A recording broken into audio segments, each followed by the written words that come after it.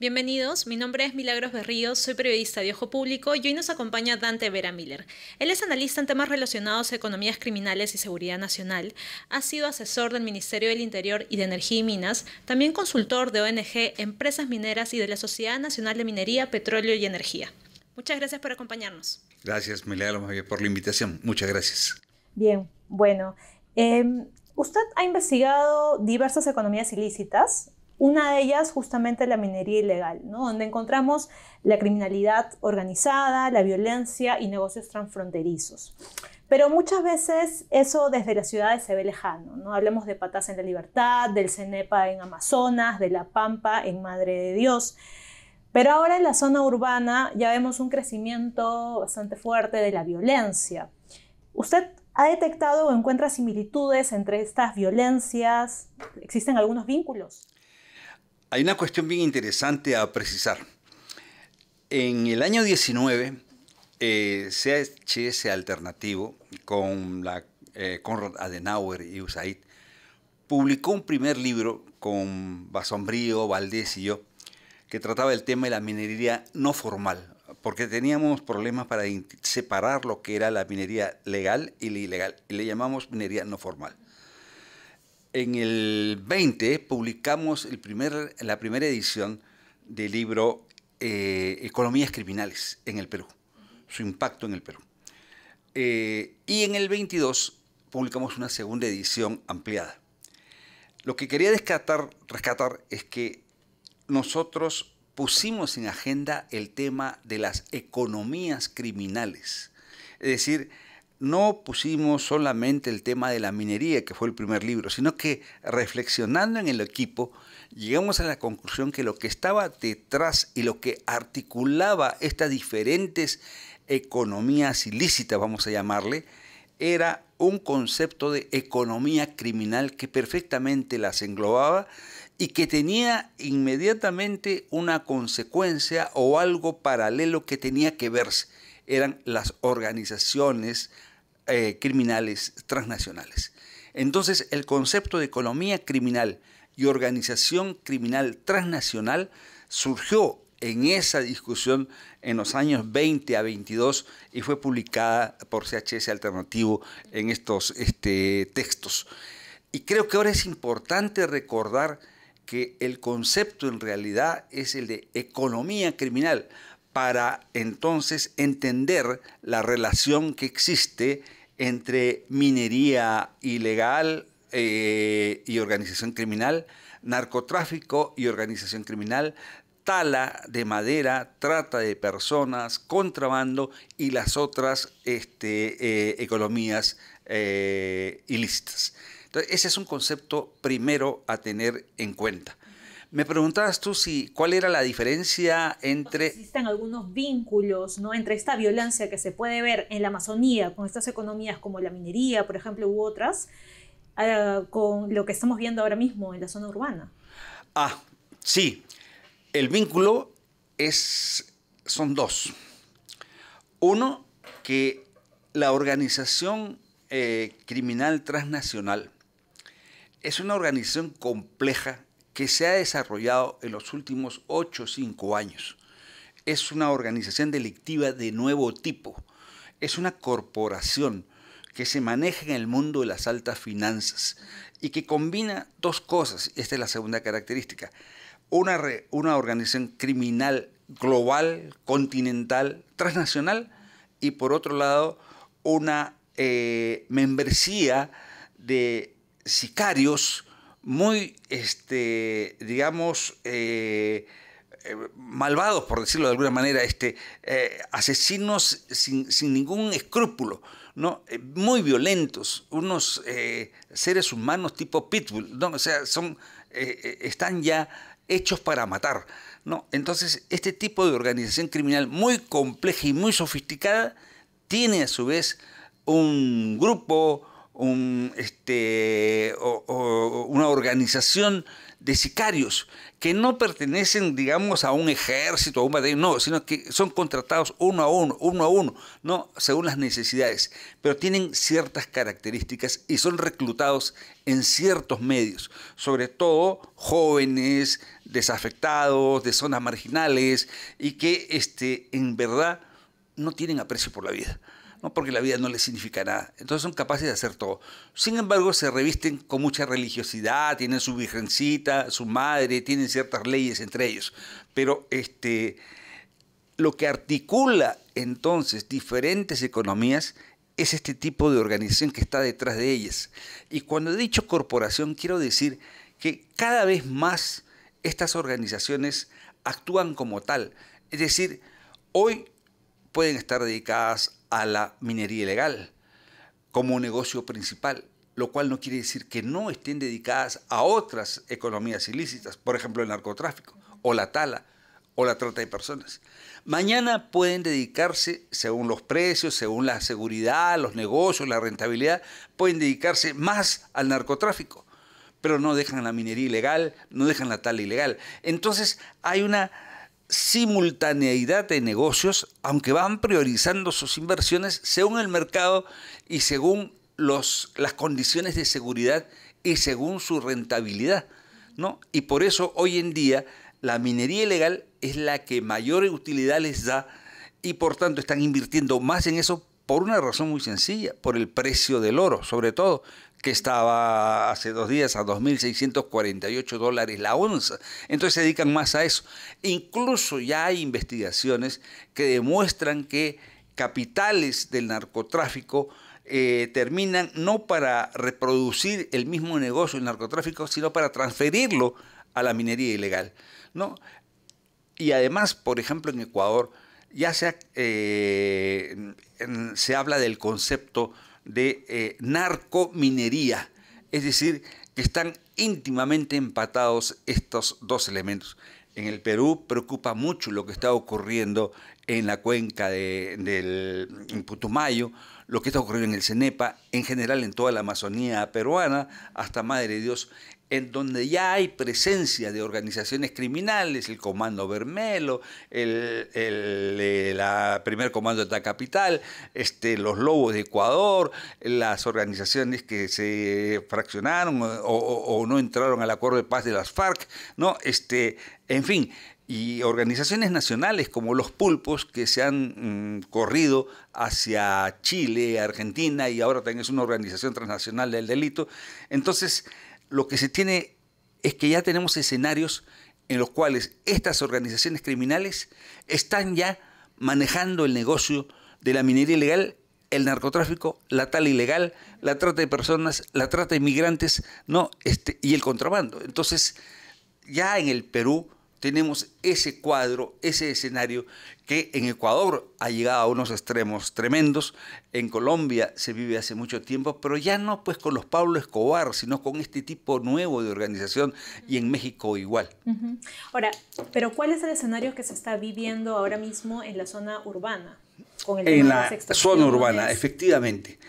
Hay una discusión ahí justamente acerca de lo que el Ministerio del Interior y el gobierno ha decidido como estrategias para enfrentar lo que a todos los peruanos y peruanas nos tiene conmocionados, que es la extorsión, el pago de cupos, que está afectando hoy en día de una manera, digamos, dramática a los transportistas, pero no olvidemos construcción civil que hace años están siendo ellos agobiados y tienen varios muertos dirigentes de base y dirigentes nacionales, ¿no? Pero también tenemos este, colegios, tenemos bodegas, en general, eh, emprendimientos, pequeños comerciantes, ¿no?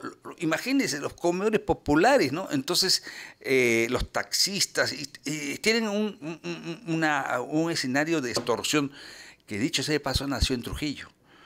Y nació Trujillo por organizaciones nativas, nacionales, de bandas nacionales, en particular los pulpos de Chepén y del barrio El Porvenir y La Esperanza. Ellos son los que comienzan a practicar la extorsión y eso se ha generalizado y se ha ampliado con la venida de delincuentes extranjeros. Pero el origen de la extorsión en el Perú es esta, y es un origen urbano en Trujillo, ¿no? Eh, con esta banda.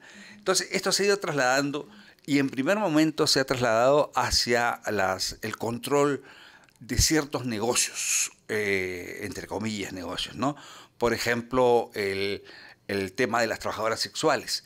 Es una disputa tremenda en Lince, lo que ha habido es una lucha por el control de las calles, de las plazas públicas, hasta del barrio, diríamos, entre bandas nacionales, locales y bandas extranjeras. Entonces, este, la vinculación es cuidado, para enfrentar esta violencia tan extrema que hay en Lince alrededor de las trabajadoras sexuales, no es un problema pues simplemente de los que habían antes unos cuantos fulanos que tenían dos, tres chicas y ahí estaban, ¿no? No, ahora son tremendas organizaciones que además tienen casi secuestradas a estas chicas, eh, violentadas a estas chicas, ¿no? Y enfrentados entre ellos. Entonces, el nexo ahí es que hay organizaciones criminales nacionales y transnacionales en este negocio y la policía tendría que entrar a investigarlo a ese nivel. Entonces ya hay un nexo entre una organización criminal que eh, maneja este tipo de negocios. Pero lo que hay este, es que se está generalizando ya no solamente por negocios, sino por barrios y por sectores. ¿En qué sentido? ¿Saben qué? En esta cuadra yo me voy a encargar de la extorsión de estas bodegas. ¿no? Ella no es este, simplemente el de las trabajadoras sexuales, sino de las bodegas. Y si hay un colegio, al colegio. Y si hay un taller, al taller. Si hay un comedor popular, al comedor. Entonces ya controlan el barrio. No el negocio como las trabajadoras sexuales, ¿no? sino eh, el barrio, este, eh, la calle. ¿no? ¿Y quiénes hacen eso? No lo hace una banda, pues como era antes. No lo hace una delincuentes comunes. Eso no lo hacen ellos. Esto necesitan una capacidad de organización y una capacidad, como se dice eh, en, términos policiales, de fuego, de uso de armas, tal que te permita efectivamente controlar el barrio, eh, controlar estos negocios, como vía la amenaza a los eh, comerciantes, en fin, a los afectados, vía el crimen, el asesinato, el uso de sicarios, que habíamos dicho que era un componente indesligable de la organización criminal, el uso de sicarios, y lo que tenemos entonces es una perfecta, por decirlo de alguna manera, organización criminal, puede ser nacional o transnacional, se habla mucho del tren de Aragua, en fin, ¿no? que eh, controla entonces ya un barrio. Yo creo que podríamos hablar sencillamente como el control del distrito de San Juan, de Lurigancho, San Juan de Lurigancho. No, yo creo que ese distrito está ya en esas condiciones y la policía no es suficiente para la estrategia de controlar la situación, este, hacer lo que están haciendo con estado de emergencia. Podemos hablar de eso más tardecito cuando desarrollemos otras opiniones, pero este, es insuficiente lo que está haciendo, porque lo que está ocurriendo es que esta organización o estas organizaciones criminales, sean transnacionales o nacionales, están en una disputa entre ellos o alianza entre ellos porque se pelean y se juntan, ¿eh? este, y que el, el objetivo es controlar todo el distrito infiltrar a la municipalidad, doblegar al alcalde, ¿no? que es un alcalde que se resiste, y por último lo pueden lamentablemente es uno de los escenarios terribles, hasta liquidar. No, la cuestión es que controlen esto y que cunda el temor entre la población y se nieguen a denunciar. Este es el escenario urbano que se repite desde Trujillo, todo el norte, todas las ciudades, los centros urbanos que hay desde el norte hasta Lima, y Lima particularmente, hacia el sur menos, pero también ya hay este problema, menos en las ciudades de la sierra, pero sobre todo la costa norte, Lima y sur medio, están prácticamente en pleno despliegue estas organizaciones criminales con el uso del sicariato y la modalidad de la extorsión que no solamente es modalidad de extorsión, veremos más adelante que hay otras modalidades delictivas. Ahora, por lo que me mencionas, se, nota claramente que las organizaciones criminales ya no discriminan ni territorios, ni sectores, o sea, al inicio estábamos hablando de la selva y del CENEPA para el tema de, de de minería y ahora hablamos de organizaciones criminales metidas en extorsión y en otro tipo de, delitos, ¿verdad? Ahora, justamente usted me comentaba de esta publicación, eh, Las economías criminales y su impacto en Perú. Y dentro de, este texto, lo que ustedes mencionan, dentro de, diversas, de diversos eh, datos, ¿no? Eh, señalan que el Perú cuenta con una ley contra el crimen organizado en ese entonces que ha generado herramientas y procedimientos para investigar casos concretos para economías ilegales, ¿no? Eso era hasta ese momento. Ahora el Congreso la ha modificado y se resiste a derogar esta ley. ¿Usted qué opina sobre esta, sobre esta acción excepcional del Congreso?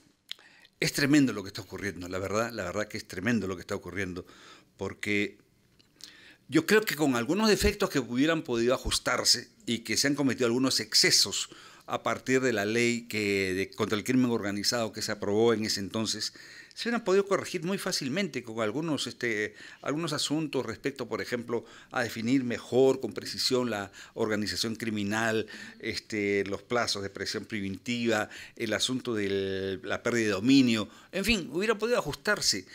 Pero no lo que han hecho los congresistas en el sentido de aprobar medidas como incluso la última que acaban de aprobar ayer, que eximen a la minería ilegal de el concepto de organización criminal, ¿no? O el cohecho eh, que también sale porque los años no corresponden a los que ellos han determinado como condición para definir el concepto de organización criminal. ¿Me decías? Sí, Efectivamente, el Congreso eh, ya aprobó eh, modificar esta ley, pues, ¿no? Y claro, dentro de los cambios está que se está, bueno, que se incluye la extorsión, el secuestro, el sicariato y otros delitos que deben ser sancionados con pena igual o mayor a 5 años. Uno coge el Código Penal y revisa las penas vinculadas a minería ilegal y claro, la minería ilegal su pena mínima es de 4 años. Igual en los casos de este, financiamiento de minería ilegal, que son delitos eh, derivados. Y determinados casos de corrupción. Exacto. ¿Usted cree que se está blindando al crimen organizado y la minería? De hecho, de hecho, es indiscutible. Pero ¿sabe qué cosa es lo importante? Que se ha logrado un consenso ciudadano sobre este tema. Porque si uno lee el comunicado de la CONFIEP, la CGTP y otras organizaciones empresariales, de emprendedores, de este, gamarra, de este, transportistas, etc., ¿cuál es la condición? Que se derogue la ley que había aprobado el Congreso que modificaba la ley original. Eso es aunque no lo quieran decir o señalar, es una demanda política, porque no es una reivindicación económica, ni es que le quiten las papeletas, nada. Ustedes con esta ley están favoreciendo a quienes nos matan, ¿no? Y la, el consenso ciudadano es que estamos amenazados, todos los que tenemos algún emprendimiento, negocio, empresa, por individuos que son pertenecientes a una organización criminal, por sicarios que son extremadamente malvados, ¿no? Y este, el Congreso, en vez de defendernos de ellos, han aprobado una serie de leyes que terminan beneficiándolos. Y eso ya es un consenso ciudadano, expresado en el comunicado que le hago mención, expresado en los dos paros, ha habido el 10 y después el otro que, hubo de dos horas, de dos días, perdón, ¿no? en la que la gente se ha movilizado. ¿Quiénes se movilizaron? Los comerciantes, los mercados, las farmacias, los transportistas, ¿no? Es decir, la calle volvió a hablar, pero con otros actores que no se habían movilizado antes. Entonces lo que está ocurriendo y el gran logro que se ha alcanzado en este caso es ese consenso ciudadano contra estas modificaciones y contra el Congreso y particularmente contra los congresistas que han aprobado estas modificaciones a una ley posiblemente que hubiera podido corregirse, pero que al final han terminado eh, eh, favoreciendo al crimen organizado.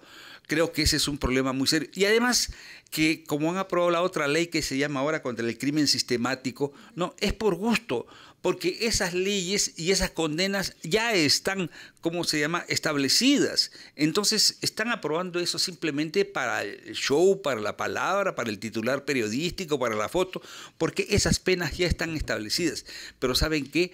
en alguna de estas leyes se ha sacado como condición de, de, gravedad para la sanción de un delito el asunto de la reiteración del delito, es decir, cuando se hace dos, eh, el delincuente ya es, como se dice en el argot, disculpa, eh, caserito en el mismo delito, ¿no? Entonces, antes él podía eh, decir, ah, tú ya eres, reiteras en el mismo delito, te aumento la pena. Ahora no se acabó eso. Entonces, este, con, ¿a favor de quién están legislando estos congresistas? Y lo más importante, el consenso ciudadano contra esta ley me parece muy importante que va a tener efectos. Porque ahora con esta, vamos a llamarle así abiertamente, ¿ya? Maniobra eh, politiquera que ha hecho el Congreso, lo que va a hacer es que, ¿qué creen ellos? Que los transportistas no van a parar, que la gente se va a quedar tranquila con la muerte del policía de ayer, ¿no? Con el asesinatos que siguen habiendo, con la cuestión del profesor, que si bien es cierto no está vinculado a la extorsión, pero en pleno colegio matan a un profesor. Eh, ¿Saben qué es lo más peligroso? Cuando se junta la indignación, ¿ya? Con este, la, este, eh, injusticia, la desesperación, o sea, no saber qué hacer. Lo, matan, indignación, ¿no? lo matan al profesor y, no había un policía delante de los alumnos y llega el ministro y dice, presente, presente, eh, hasta es una burla eso. Y la madre que declara, no quiero poner la palabra odio, pero con tal indignación habla que cuando se junta esa, ese malestar de indignación y falta de justicia, cualquier cosa puede suceder cualquier cosa puede suceder, porque eso es lo que motiva a acciones violentas, por desgracia, o a pensamientos radicales, sálveme quien pueda. ¿no? Y por lo general en ese escenario ganan los que se ponen el título de Mesías. No importa si son de derecha, ultraderecha, izquierda, ultraizquierda, pero que tienen ese carácter autoritario y dictador. Entonces, el consenso está muy bien, pero ¿cómo canalizamos esa sensación ciudadana a una salida política democrática? ¿Cómo recuperamos la democracia? Ayer escuchaba al amigo este Javier Medina utilizar un concepto bien interesante de la contención democrática. ¿Cuál es la contención democrática que podemos nosotros ir construyendo para frenar a estos individuos irresponsables que están haciendo uso del poder de manera irresponsable y están creando las condiciones para que en el país pueda suceder cualquier cosa. ¿Cómo construimos eso? Esa es la, la tarea. Aparte ya del consenso que hemos logrado ¿qué paso damos? Tampoco es suficiente ahora y quedarnos tranquilos, ah, perdón, este, va a haber otra vez una nueva movilización. Podrá haber otra movilización, ya, pero no es suficiente. A la movilización hay que añadirle salidas democráticas a la crisis que está viviendo el Perú. Ahora que, usted hablaba, comentaba y se preguntaba, ¿no? ¿A favor de quién están legislando estos congresistas? Eh, y en, la publicación que estábamos comentando, ¿no? En, en las economías criminales, eh, ustedes también lo que indicaban era que muchas veces los dueños o intermediarios de estas actividades economías ilegales logran con facilidad penetrar la vida política a nivel local y regional e incluso de una manera más difusa logran influir en el Congreso y en algunas áreas del gobierno nacional. ¿Esto es lo que estamos viendo ahora? Así es. ¿Sabe usted por qué? Porque lo que nos falta es conocer al enemigo que estamos enfrentando.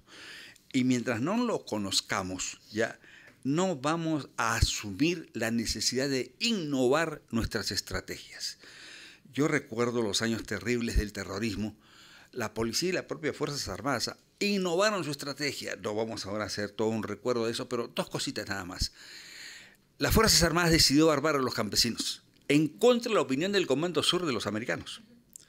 Y en la policía se decidió establecer un GEIN en la que su preocupación única y central era identificar a los miembros del comité central y caerle, en ese entonces ellos lo llamaban el cachetón porque ni siquiera tenían una foto actualizada del hombre este.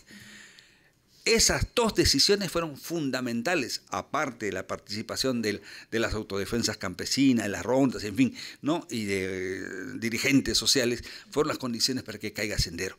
Bueno, se atrevieron a innovar, ¿ya? Se atrevieron a innovar.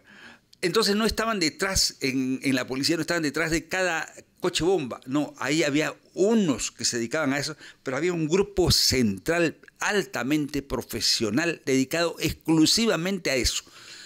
¿Esa estrategia nos sirve ahora? No creo. es porque no estamos enfrentando a una sola cabeza, a una sola organización, a una organización centralizada, con mando único y con una construcción de grupos armados. No estamos enfrentando eso. Estas organizaciones criminales, para responder a la pregunta que me haces, eh, en el conocimiento y el estudio que hemos hecho con ellos, varios este, expertos, analistas, en fin, eh, tenemos ya eh, mm, establecido que esta organización tiene estrategias. Es decir, no llega al Perú porque, ah, llegué al Perú. No, no, no, no, no. Hay una decisión estratégica de llegar al Perú. Y ellos han estudiado el Perú desde su punto de vista y cuáles son las condiciones de los filtros que pueden utilizar para infiltrarse, cuál es la situación económica de seguridad del país, cómo está el Estado en todo su territorio nacional y qué nos puede eh, ser útil a nosotros. Bueno, en algunos casos por suerte y en otros casos por este, lamentable, el Perú eh, es rico en tres commodities ilegales. Ya, el oro, que el oro en sí no es ilegal, sino la forma de extraerlo es ilegal. La madera, la madera no es ilegal, es la forma de la tala ilegal. Y la coca, que es una discusión ahí que ahora se ha reactivado con el asunto si la, es para, la coca es para uso tradicional o la coca es para uso este, del narcotráfico. ¿no? Entonces, ¿qué sucede? Mientras tengamos esos tres productos, en la cual además somos ricos, porque usted rasca la tierra y encuentra oro o si no otro mineral. Mientras tengamos madera, a pesar de toda la deforestación que hemos sufrido, todavía tenemos riqueza maderable. Y mientras tengamos cultivos de coca, que han llegado a 95 mil hectáreas de coca, con lo cual eh, los estudios dicen que el 95% de todo lo que se produce de coca va al narcotráfico y los que defienden la producción tradicional podrán decir lo contrario, pero ese es un, un, problema de estudio, no es un problema ideológico, no es un problema de decir estoy a favor de esto o en contra, hay que demostrarlo. Los estudios que han hecho de vida y otros este, expertos en el asunto es que el 95% de la coca se va al narcotráfico. Bueno, mientras tengamos eso, estas organizaciones criminales que estudian la realidad de cada país deciden entrar. ¿Y cómo entran? Lamentablemente frente a un proceso que estamos viviendo todos los países de la migración. No quiero responsabilizar de esto a los migrantes, porque esa es una crisis humanitaria lo que se está viviendo en todo el continente. Pero ahí se infiltran ellos, establecen organizaciones que capturan a migrantes, los explotan, incluso hoy día se habla de trata ilegal de migrantes. ¿no? Entonces, este, ahí ellos se infiltran.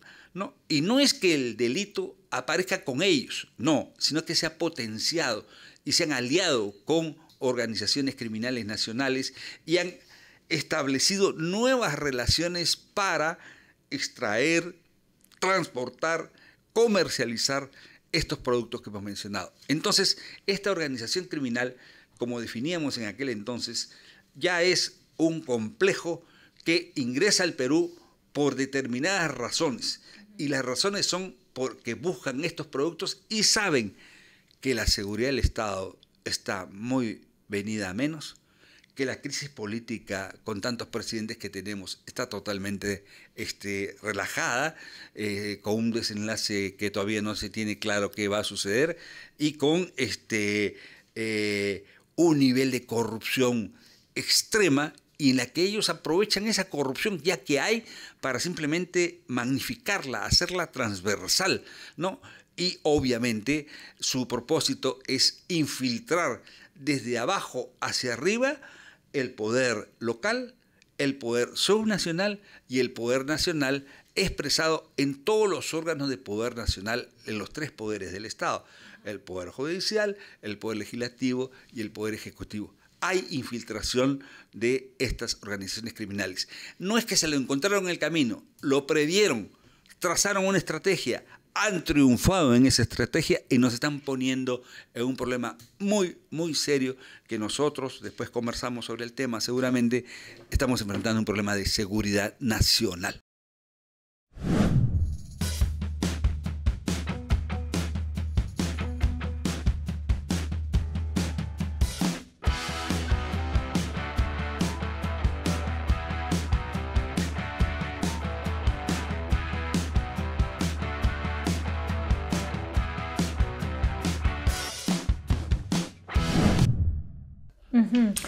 Sea, las organizaciones criminales es como si se alimentaran de esta corrupción que me comenta que está creciendo en, el sistema, en el Estado en general. Para seguir la, pregunta, la pregunta anterior, em, claro, usted ha sido jefe de, diversos comités de asesores de varios, ministros del, del, Interior, entre otras gestiones, la de Fernando Rospigliosi en el 2002, en el 2003, en el 2004, quien ahora está en las filas del Fujimorismo y es uno de los que respaldan estos cambios en la ley de, contra el crimen organizado, llamada así. Em, pero en general, ¿usted cómo evalúa el accionar de los congresistas, pero también del mismo Ejecutivo, en torno a esta lucha y este escenario del que estamos hablando? Como les dije en la ah, intervención anterior, hay, vamos a ser este, ingenuos, ¿ya? Hay un desconocimiento de lo que estamos enfrentando. Y el que desconoce ignora. Y el que ignora propone, este, no vamos a decir una palabrota, propone medidas que no son adecuadas. ¿Ya? Ese es desde un punto de vista ingenuo, ¿no? Y bueno, son ignorantes, pues, ¿qué vamos a hacer? No, pero lo otro es que, si uno lo piensa más, hay intereses de por medio. Y cuando hay intereses de por medio, o están metidos en el negocio, en alguno de esos negocios, la tala de madera, el narcotráfico, la minería ilegal, o están metidos en alguno de esos negocios, o reciben, vamos a decirlo criollamente, su propina, reciben su dinero por pensar como piensan, decir lo que dicen y aprobar lo que aprueban. Entonces es indudable que sobre la base de una criminal, no, de una corrupción generalizada que ya vivimos desde hace tiempo, basta leer la bibliografía que tenemos sobre corrupción en el Perú, ¿no? Este, no es que por culpa de tal, no, no, no, no, no, hay corrupción en este país hace muchísimo tiempo, pero sobre la base de esa corrupción la han potenciado y lo que estamos viviendo en los últimos 10 años es una infiltración clarísima, pero de abajo hacia arriba en los órganos de poder del Estado municipios, consejeros regionales, gobernadores regionales, congresistas, ah, ministros, han habido, ¿eh? Ministros y jueces, fiscales. Entonces, ¿qué más? Entonces, cuando yo digo que el problema es un problema de seguridad nacional, entonces ya tenemos un elemento para justificar la preocupación que tenemos. La infiltración de organizaciones terroristas al poder, a los poderes del Estado. Perdón, este, eh, criminales. No, perdón, perdón. Eh, la infiltración de organizaciones criminales transnacionales en los poderes del Estado, desde los poderes locales, subnacionales y nacional. Ese ya es un primer riesgo que debería llamarnos la atención a la ciudadanía, debería llamar la atención a las autoridades para decir, cuidado, estamos ante un problema de seguridad nacional. No estamos solamente ante un problema delictivo de extorsión. No estamos solamente ante un problema delictivo de sicariato. No estamos solamente ante un tema delictivo de mineros ilegales. No, estamos ante un problema de economías criminales que tienen organizaciones transnacionales criminales que tienen como objetivo infiltrar el poder del Estado si se quiere de otra manera hablarlo más directa, tomar el Estado. Pero más adelante vamos a ver que hay otros componentes que nos dicen a nosotros, eh, nos llevan a pensar que lo que estamos viviendo es un problema de seguridad nacional y sobre eso seguiremos conversando seguramente. Sí, leí usted que em, usted hace poco comentaba, ¿no? o se preguntaba cuántas mujeres, cuántos defensores ambientales, dirigentes sindicales, emprendedores deben morir o seguir extorsionados mientras las autoridades son ineficientes o cómplices. Usted eh, comentaba eso. ¿Cuál cree usted que ha sido eh, la mayor señal de esta ineficiencia por parte de, las autoridades? Yo creo que principalmente del gobierno y del Congreso. Tres, tres, sí, tres este, hitos me hace pensar. La primera es el feminicidio. ¿no? Este, el Estado en su conjunto porque esa es una cuestión que debe resolverlo el Estado. Las organizaciones civiles, por supuesto, tenemos que responder, denunciar, alertar, este, hacer eh, también cosas, pero la responsabilidad principal del Estado es brindarle seguridad a sus ciudadanos y en este caso particularmente a las ciudadanas, a las mujeres. Y el Estado, la verdad, que invierte mucho y con pocos resultados. Más bien lo que se ha pretendido es restarle dinero a los organismos encargados del Estado para que pretendan o insistan o este, estén llevando políticas que a veces son útiles para enfrentar esta situación. Pero el número de feminicidios es tremendo y eso no puede continuar. Esta consigna ni una más es una consigna que conmueve, pero lamentablemente es una consigna que se irrespeta porque hay cada vez más este, asesinatos eh, definidos como feminicidio y que eh, expresa no un problema de circunstancia, sino un problema cultural muy profundo, de relación de poder entre hombres y mujeres, de cultura machista de por medio, y que por lo tanto para superar este problema no solamente debemos cuidar las condiciones de las relaciones en las familias y todo lo demás, sino cómo modificamos estos aspectos culturales, de valores, ¿no? Disculpe la expresión, por ejemplo, a nadie se nos puede ocurrir comernos una cucaracha. En adelante debería ser que a nadie se nos debe ocurrir golpear a una mujer, a un niño, ¿no? Entonces, o a una niña, ¿no? Entonces, eh, es un problema que nos va a costar tiempo, ¿no? Pero hay que insistir, hay que insistir, hay que ver por dónde podemos acortar el camino. Pero el feminicidio creo que es una incapacidad del Estado. El Estado está sobrepasado, no entiende el problema. No, porque otra vez, no es un problema de ponerle un policía a cada mujer, pues no lo es no es tampoco este, un problema de simplemente salvar a la familia, es más complejo ¿no? el asunto. El segundo tema es el de los defensores de derechos humanos y de los defensores del medio ambiente, que la Coordinadora Nacional de Derechos Humanos lleva un registro de estos este, crímenes. Creo que en los últimos tiempos se hablaba ya de 20, hace pocos días acaban de asesinar a un líder este, nativo otra vez. Sí, al menos 38 en los últimos 10 años. Y particularmente tienen esa característica, ¿no? Son dirigentes de pueblos indígenas, ¿no? Entonces, eh, en la que eh, se les mata o demora mucho la investigación o queda impune, Entonces, ese es un segundo aspecto en la cual el Estado demuestra total incapacidad de enfrentar este problema. Y esto tiene que ver con el problema que estamos hablando de seguridad en general. Y el, la primera obligación del Estado, vuelvo a repetir, es brindar seguridad a sus ciudadanos y ciudadanas. Y entonces a las mujeres no las, no, no es que las, digamos, las protege, sino que no modifica las relaciones en relación a la mujer, en relación a los dirigentes andinos que tienen, nativos que tienen todo el derecho de defender sus territorios, sus recursos y terminan siendo asesinados por economías ilícitas. Los que talan madera, los mineros ilegales, ellos son los que asesinan, los, buscadores de, a veces hasta de petróleo, ¿no? Este, en fin, ¿no?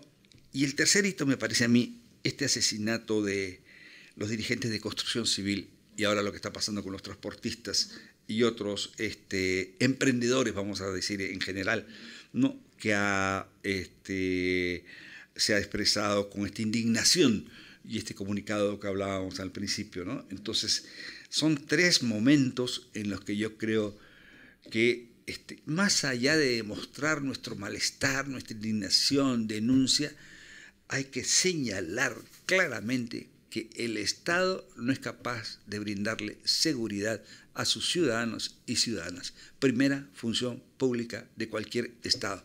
Segundo elemento, entonces, para decir que estamos ante un problema de seguridad nacional y no solamente un problema de delitos, no solamente que los hombres son pues brutos, de machos y matan a las mujeres, no, es un problema del Estado que no funciona, ¿no? Que los dirigentes nativos que no saben, hazme el favor, es un problema del Estado. Entonces, segunda razón. La primera es que hay organizaciones criminales transnacionales que tienen el objetivo estratégico, aprovechándose de la corrupción, extenderla, infiltrar el Estado y tomar el Estado. Si ocurre eso, entraremos en la condición de Estado fallido. Y la segunda condición para hablar, para hablar de que estamos ante un problema de seguridad nacional es que el Estado no brinda la seguridad a sus ciudadanos y ciudadanas. Si el Estado no brinda seguridad a sus ciudadanos y ciudadanas, ¿qué es lo que tiene que ocurrir entonces? O sea, en las marchas ya se está pidiendo, por ejemplo, eh, la salida ¿no? de la presidenta o de la remoción del Congreso. ¿Qué debe pasar? Hablemos de un Estado que no está cumpliendo con sus, con sus principales deberes. Mira, permíteme utilizar una figura, en fin, literaria, ¿ya?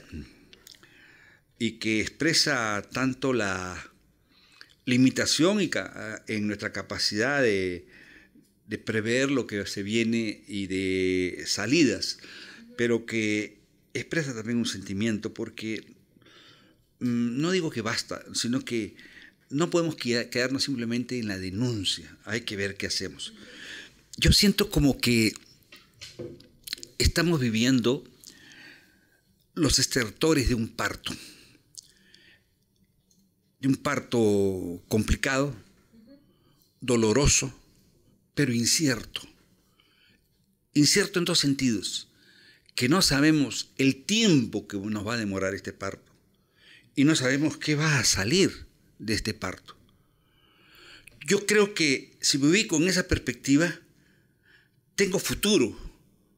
Si me ubico en la perspectiva de que el Estado es tal, esto, aquello, la organización criminal, eh, simplemente, disculpen la expresión, me deprimo o el inversionista dice que voy a invertir aquí en este país. Entonces nos toca con esta figura que estoy utilizando mirar para atrás y decir, sacar fuerzas de nuestra identidad eh, republicana, nuestra identidad nacional, en fin. Y vemos que hemos sido capaces de derrotar al terrorismo. Y eso no es cualquier cosa. Un fenómeno que ha sido el más terrible que se ha vivido en el continente. Y fuimos capaces de derrotar al terrorismo. Pero yo recuerdo más, y permíteme hacer aquí una alusión personal. Me acuerdo en los años 60, 70, que una figura así se me ocurrió en la cabeza. Que algo estaba pasando en el país. Algo, sentíamos que algo pasaba. ¿no? Pero leía los periódicos y estaba en ese tiempo la Sociedad Nacional Agraria. Julio la Piedra y otros señores fumando sus puros en los tremendos sillones de la Sociedad Nacional Agraria, Sociedad Nacional Agraria. Y además eran congresistas, eran senadores, congresistas, discutían cualquier tontería, pero no se daban cuenta de lo que Belaúnde Terry se estaba dando cuenta y que algunos militares ya estaban dando cuenta. Algo estaba hirviendo abajo, que algo se estaba cocinando abajo entre los campesinos en las poblaciones que los campesinos estaban perguillando ideas nuevas, ya no solamente quejas o fotografiarse como miserables, no, que estaban pensando en que alguien era responsable de su vida calamitosa que tenían, no, de que algo tenían que hacer. Mientras ellos seguían aprobando leyes, cualquier ley, ¿no? Y repartiendo ahí sus, sus panes y cosas, ¿no? Bueno, pues vinieron las tomas de tierras, ¿no? y la Sociedad Nacional Agraria se acabó. El latifundismo se acabó. Y los militares previeron eso. Evaluar ese tema no es nuestro tema ahorita, ¿no es cierto? Pero lo menciono simplemente como un hecho histórico. Algo así estamos viviendo. Algo va a pasar, algo nuevo va a surgir. Y con esto termino esta pregunta. Lo nuevo que va a surgir es incierto. Porque nos vamos desde la posibilidad de un Estado fallido, que es un escenario catastrófico y que nadie quiere terminar en eso, nadie en el sentido de lo que pensamos el país, sino los interesados y los delincuentes, ¿no? Podemos salir ante un escenario con un Mesías autoritario, populista, de derecha más conservadora o de izquierda tipo Perú Libre, que no creo que tengan opción de gobierno, sino que lo menciono como ideología, ¿no? Este, o encontramos un, canal por donde esta contención democrática que hablábamos al principio, o esta en el Twitter que has mencionado, yo decía, este, salvar la patria, ¿no? Esa, esa consigna nos unifica y podemos de alguna manera, este, de alguna manera eh, eh, enfrentar la situación que se nos viene. porque no basta ver a la minería ilegal como un delito, ¿eh? este, a la minería ilegal, no al que está en proceso de formalización, sino a la ilegal, sino que hay que preguntarnos por el sujeto. ¿Quién es el minero ilegal? ¿Hay un perfil del minero ilegal? ¿Hay, ¿Se sabe cuántos son? ¿Dónde están? ¿Cómo explotan el mineral? ¿A quién se lo venden? ¿Qué papel juegan las plantas procesadoras? Eso. En fin, creo que esos son el panorama que nos abre bastante abierto, la verdad. Eh, bien, me menciona el tema de la minería, la minería ilegal. Y de hecho en los últimos eh, tiempos se la atención la ahora activa participación del empresariado ante el avance de la minería ilegal, ¿no? O sea, por ejemplo, vemos eh, una serie de pronunciamientos de la Sociedad Nacional de Minería Petróleo y Energía contra justamente este delito desde su punto de vista, cuál debe ser la responsabilidad social de este, del empresariado frente a la minería ilegal. Lo primero que creo que tenemos que hacer es lo que está haciendo el grupo de diálogo Minería y Desarrollo Sostenible, que hace un año estamos trabajando de manera voluntaria varios expertos de diferentes profesiones, condiciones, empresarios, líderes sociales, miembros de ONGs, simplemente académicos, etc. Y hemos elaborado 10 propuestas para eh, canalizar de alguna manera el problema de la formalización de la pequeña minería y minería artesanal y el cómo eh, enfrentar, encarar el problema de la minería ilegal. Y una primera cuestión que nos pusimos de acuerdo era entender para poder contradecir, para poder este, sacar de la agenda un discurso que le hemos llamado un discurso punitivo. Recordando lo que hablamos al principio de esta entrevista, dijimos que de repente puede ser por ignorancia o por interés. No se sabe qué cosa estamos enfrentando. Y entonces como no se sabe que estamos enfrentando economías criminales y organizaciones criminales transnacionales, se tiende a decir lo que hemos dicho, este, tonterías. Entonces, ¿qué sucede? Esta gente que no conoce, sean funcionarios, empresarios, académicos, opinólogos, lo que se quiera, no conocen, han tratado de vincular a toda la pequeña minería y minería artesanal que no conocen como si fuera la minería ilegal. Y nada menos cierto, porque la minería ilegal es una forma de extraer el mineral. La pequeña minería y la minería artesanal es un estrato reconocido por ley en la eh, ley de minería y que trabaja honradamente y no solamente que trabaja honradamente, sino que tiene un enorme potencial para el desarrollo regional del país y tiene una serie de beneficios para poblaciones locales porque, entre otras cosas, no vamos a decir todas, eh, tiene un uso intensivo de mano de obra, ¿no? a diferencia de la minería, de la gran minería. Y si nosotros, como dicen las 10 propuestas, tomamos medidas para que exista una pequeña minería y una minería artesanal responsable, ¿en qué sentido? Que respete el medio ambiente. O sea, que cuide el medio ambiente, que respete los derechos humanos. Por ejemplo, que no haya pues trabajo infantil, ¿no? Y que cubra a sus trabajadores con salud ocupacional y no como ahora que trabajan en unas condiciones totalmente precarias de explotación increíble, ¿no? Entonces, esas son características de una minería que no queremos. Y esas son las características de una minería ilegal. Pero los que han declarado su deseo de formalizarse aceptan que quieren trabajar como pequeños y mineros artesanales respetando estos tres principios y haciendo uso de su derecho al trabajo. ¿No? El derecho al trabajo es perfecto, pero con estas condiciones. ¿no? Entonces, lo primero que hay que sacar del medio es ese discurso punitivo que es producto de desconocimiento o de interés.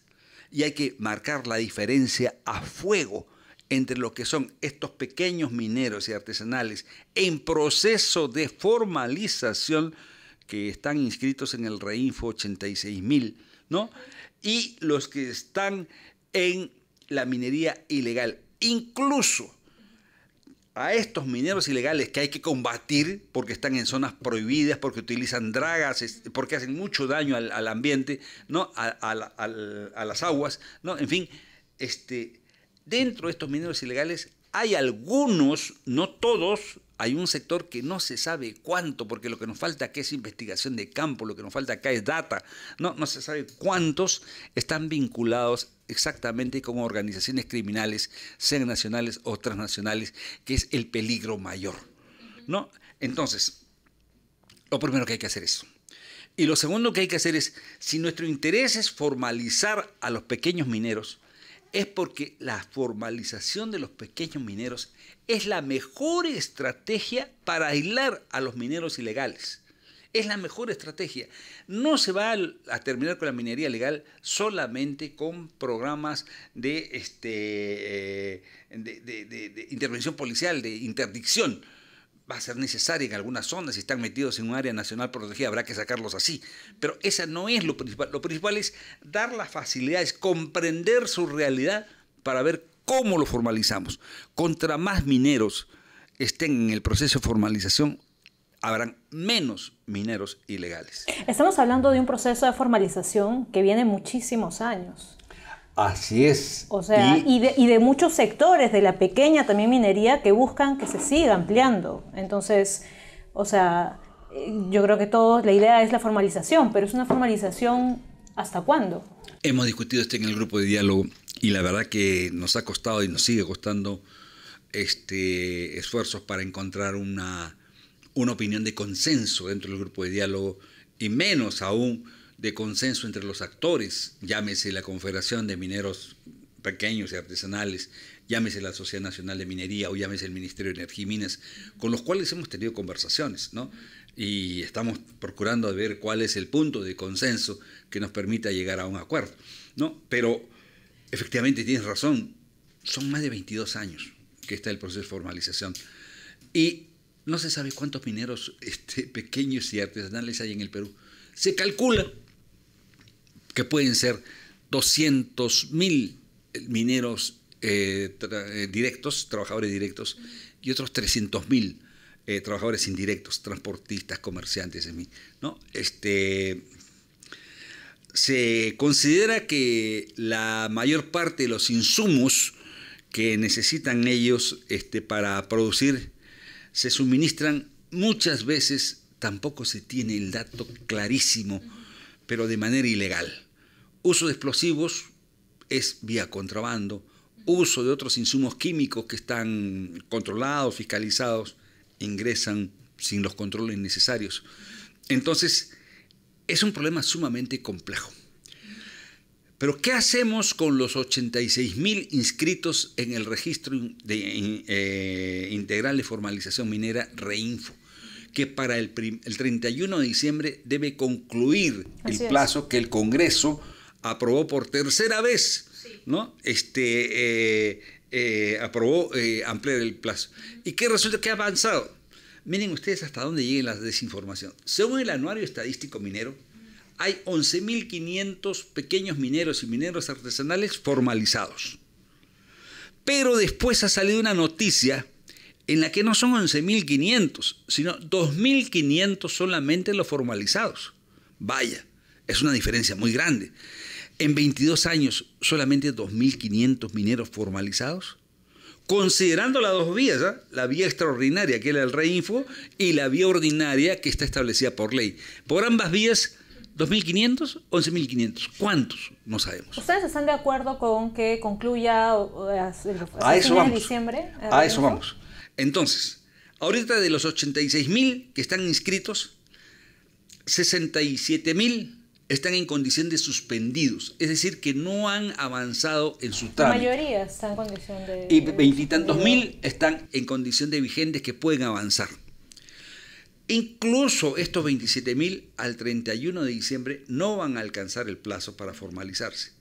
Bueno, entonces la pregunta que nos hemos hecho en el grupo de diálogo y nos la hemos conversado con la Confederación de Mineros que plantean la ampliación del plazo por dos años más y hay un congresista de la bancada magisterial que ha presentado, el congresista Gutiérrez, ya el proyecto de ley y ese proyecto de ley. Hay dos proyectos para ampliarlo hasta 2026. Sí, hasta el 2027, ¿no? Este, y hay una ley general de minería que lidera el, congresista Ancachi, Flores Ancachi, ¿no? Este, pero que en la Comisión de Energía y Minas las van a juntar solamente las que están este, por ampliar el plazo, porque eso es lo que les interesa, ampliar el plazo a la Confederación de Mineros y su bancada, vamos a decirle, o la bancada que les apoya, incluido ya sabemos quién es más, este, lo que quieren es simplemente que se amplíe al 2027 para que todo siga igual.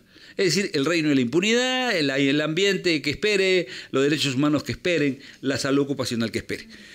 Pero la gran pregunta que nos hemos hecho, ya eh, en el grupo de diálogo, le hemos hecho a la Sociedad Nacional de Minería también, es ¿qué hacemos con los 86 mil que están inscritos en el REINFO?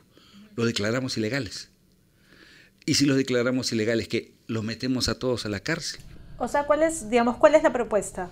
¿Ustedes están de acuerdo o no de acuerdo Entonces, esas son las preguntas y la propuesta es que tenemos que estudiar una salida, un plan de transición, si es posible, para darle salida a estos que están inscritos en el Reinfo en el tiempo más breve y solucionando un problema que es el problema más serio en la formalización y que la gente se queda en el Reinfo, pero no va al problema. El problema son los contratos de explotación o cesión que tienen que firmar los mineros con los titulares de concesión. Y el caso es que solamente tenemos 12% de contratos firmados a la fecha, porque los titulares no quieren firmar el contrato porque dicen, como bien dicen, este es un derecho adquirido, y los mineros dicen que no tienen dónde ir porque supuestamente, cosa que las estadísticas no lo confirman, pero ellos dicen que no tienen ya más concesiones donde solicitarlas porque todo está acaparado. Ahora, entiendo que ustedes lo que plantean es como que buscar una solución, pero estamos noviembre, diciembre, quedan dos meses para que vence Reinfo, entonces eh. igual reitero la consulta si usted está de acuerdo o no con una ampliación del, de Reinfo. Este Reinfo no. Y si se llegara al extremo ya de ampliar un plazo para eh, reorganizar la pequeña minería y minería artesanal con otro instrumento que no sea este, el reinfo actual, sería con dos condiciones. Una, que se derogue el beneficio del este, eh, exención de responsabilidad penal. ¿Qué significa eso? De que si yo estoy inscrito en el reinfo, Puedo hacer cualquier cosa con el mineral, ¿eh? si tengo mi carnet de reinfo, y entonces el policía o el fiscal no pueden hacerme nada porque yo soy beneficiario del principio de exención de responsabilidad penal. Es que eso se va, o sea, de hecho reinfo es uno, y eso que esa figura que usted comenta es uno de los principales elementos que permiten que muchas personas eh, terminen haciendo este vínculo que usted dice entre la ilegalidad y la, y la informalidad. porque amparados en ese documento... Coincidimos en eso, en el análisis que hemos hecho coincidimos y llegamos peor a una sola frase, que el reinfo está infiltrado por mineros ilegales y por personas que no tienen que ver nada con la extracción de la minería, sino que son los que usan el reinfo para fines ilícitos. ¿No? Entonces, nuestra conclusión es bien clara sobre el reinfo. No nos gusta el reinfo, hay que cerrarlo. Pero ¿qué hacemos con los 86 mil? Entonces le digo, si llegamos a un acuerdo de un plan de transición, de emergencia muy acotado, con determinadas condiciones, la primera condición es que el que se queda ahí no va a tener el beneficio de exención de responsabilidad penal. Es decir, que si se le no se le captura, si se le eh, encuentra cometiendo flagrantemente el delito de minería ilegal o contra el ambiente, será apresado este, y sancionado conforme a ley. ¿no? Esa es una cuestión que es no negociable, esa es una, una franja, una raya roja, una línea roja en esta ampliación. Y la segunda es que tiene que abrirse una vía ordinaria para que todas las personas jurídicas o naturales que quieran invertir en la pequeña minería se formalicen vía esa vía ordinaria y no vía este registro temporal o vía este plan, plan este, de emergencia, en la cual ya está acotado, son 86 mil, listo, los veintitantos mil, vamos a ver cómo se soluciona, que creo que es lo que está más aparejado. Pero tenemos que resolver el problema que hacemos con los contratos. Porque ¿sabes qué? Permítame simplemente un ratito, el 92% de los mineros no son titulares de concesiones. Entonces quiere decir que, bueno, pueden estar en otro tipo de concesiones forestales, en fin, agrarias, en fin. El 64% de esos están en concesiones de terceros. Entonces tienes tú la realidad que hay concesionarios que tienen su concesión ocupada. Pero hay concesionarios que con razón critican que no pueden invertir porque están ocupados, pero otros tienen acuerdo con ellos o sencillamente son este, este, concesiones caducas, concesiones que ya no se operan, incluso que no se encuentra al, titular de la concesión. Entonces, algunas medidas hay que tomar con, este, con, estas cuestiones de las concesiones. Mi temor, y lo expreso como analista, es que esto está abriendo una brecha para discutir un problema que es de orden constitucional y es de orden de poder en el país, que es el régimen de concesiones mineras en el Perú. Y eso va a ser un tema de agenda en las elecciones, bueno, no sé si del 26 o de antes, pero en las elecciones próximas, ¿no? Ese tema y en donde las posiciones son muy, perdón, muy polarizadas, muy confrontadas, porque la Sociedad Nacional de Minería, académicos, otros periodistas expertos no van a estar de acuerdo con este asunto del cambio en el régimen de concesiones y otros, sobre todo los mineros, y algunos líderes políticos este, populistas sí van a estar de acuerdo. Este planteamiento que usted me comenta ya fuera de Reinfo, ¿lo están conversando quizá con algún congresista? Mire, lo hemos conversado con la Confederación de Mineros. Ya, y ha mostrado su reserva porque ellos insisten en el asunto de que tiene que ampliarse el plazo al 2027 y les hemos interpuesto este asunto de la responsabilidad penal. No tenemos una respuesta clara al respecto. Lo hemos conversado con el Ministerio de Energía y Minas y lo hemos planteado abiertamente para decirles, no cierren el asunto, traten de, de abrir un plan de transición para ver qué se hace con los